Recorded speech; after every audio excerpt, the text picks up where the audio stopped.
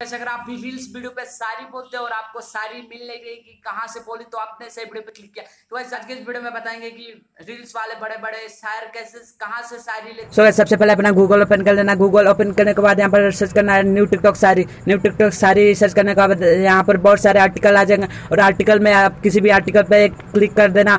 So guys आप देख सकते हैं यहाँ पर कितना सारे आर्टिकल आ गए हैं। मैं एक आर्टिकल पे क्लिक करता हूँ और क्लिक करने के बाद यहाँ पर बड़े बड़े यूट्यूबर भी यहीं से, या फिर टिकटॉकर भी, या फिर इंस्टाग्राम रील्स भी यहीं से शायरी उठाते हैं। आप भी यहीं से शायरी लेकर बोल सकते हो और टिकटॉक पे या फिर इंस्टाग्राम रील्स पर सिर्फ़ एक दिन में भी फ़ेमस हो सकते हो। तो गाइस देखिए थोड़ा इंटरनेट स्लो चल रहा है तो इंटरनेट के स्लो चलने के कारण थोड़ा वेट लग रहा है। वेट होने के बाद आपको देखिए ऐसा इंटरफेस आ जाएगा। यहाँ पर एट्रैक्टिव अट्रैक्टिव साड़ी मिलेगा सो मिल चुका है। मुझे एक और शायरी यहाँ पर आप देख सकते हो सो इसी तरफ़ आप भी शायरी देख सकते हो और खोज सकते हो और बोल सकते हो और फ़ेमस हो सकते हो।